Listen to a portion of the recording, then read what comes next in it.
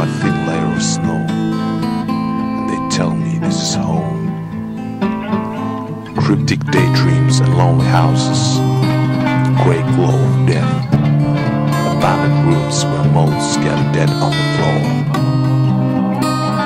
Faces, icons on the wall. They have no stare to penetrate a single soul. Against the gloomy winter skies, frozen water drops gleam like diamonds on trees.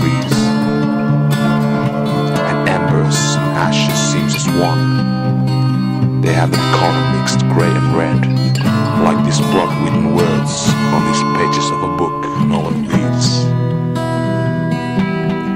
Stars alive, colors and sparks of many dreams still untold, from a bright evening to darkest fall. Dreams might have betrayed me, or they've taken on other forms.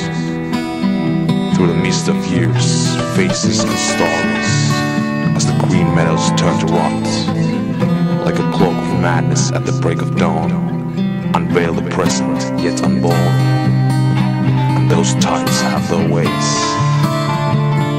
Seek the depths of self, lift the album lids, while whole world burns whole theater of flesh and bones. It is the quest, if you will.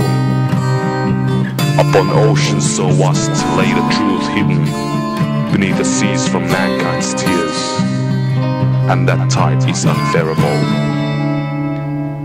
Behind old hills, there are many paths, depart from sorrows of earth, those which lead nowhere and the green moss and dew, they flourish as all living.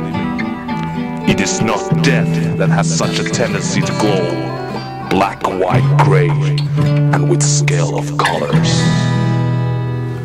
So it is written, and so it shall be done.